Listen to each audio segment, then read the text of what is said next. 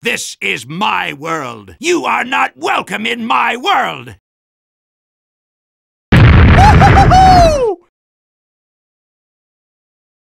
I never liked you. You were good, son, real good. Maybe even the best. You are the worst roommate!